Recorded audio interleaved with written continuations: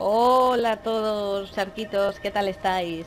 Nos encontramos en Bahía de las Ascuas porque bueno, tengo varios mensajes sobre un logro que se hace en esta zona de aquí, en el TP de Circo de Náufragos, y va sobre este logro de cliente. Bueno, será sencillo. Hablaremos con este NPC.